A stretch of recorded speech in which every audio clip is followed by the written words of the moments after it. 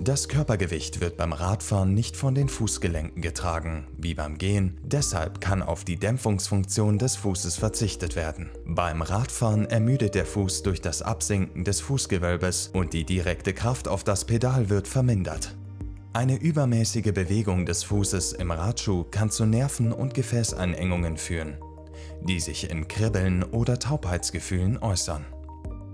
Entsprechend der unterschiedlichen Fußtypen und der speziellen Anforderungen beim Radfahren haben wir Einlegesohlen entwickelt, die für eine direkte Kraftverteilung sorgen.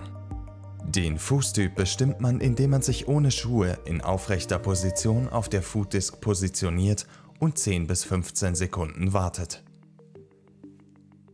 Anhand des Fußabdrucks wird der Fußtyp bestimmt. Anschließend muss die Beinachse ermittelt werden. Dazu positioniert man sich aufrecht, nimmt die Füße zusammen, sodass sich die Fersen berühren. Anhand des Abstands zwischen den Knien können die Beinachsen definiert werden. Die Kombination aus Fußtyp und Beinachse ergeben die passende Einlegesohle. Die Esculap-Sohlen können durch Zuschneiden angepasst werden. Für den gesunden Fuß ist es wichtig, die richtige Unterstützung für das Radfahren zu bieten, um die jeweiligen Schwachpunkte des Fußes zu unterstützen. Esculap Einlegesohlen eignen sich für alle Einsatzbereiche und werden von unseren Profis im Rennsport eingesetzt.